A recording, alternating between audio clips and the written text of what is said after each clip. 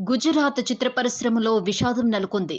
చల్లు షో చిత్రంలో నటించిన బాలు నటుడు రాహుల్ కోహ్లీ కన్నుమూశారు. గత కొంతకాలంగా లుకేమియాతో బాధపడుతున్న రాహుల్ అహ్మదాబాద్ క్యాన్సర్ ఆసుపత్రిలో చికిత్స పొందుతూ అక్టోబర్ రెండున తుది శ్వాస విడిచారు. అయితే ఈ విషయం ఆలస్యంగా వెలుగులోకి వచ్చింది.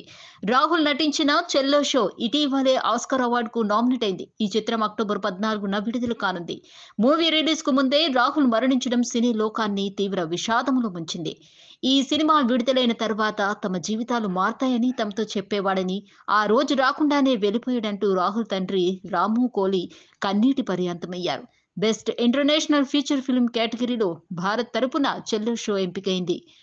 భవిన్ రాబరీ భవేష్ శ్రీమాలి రిచా మీనా డిపెన్ రావల్ పరేష్ మెహతా ప్రధాన పాత్రలు నటించిన ఈ సినిమాకు పాన్ నలిన్ దర్శకత్వం వహించారు. Please subscribe Pragna media please like share subscribe to Pragna media Pragna media please do like share and subscribe please subscribe to Pragna media please like share and comment if you like the video Pragna media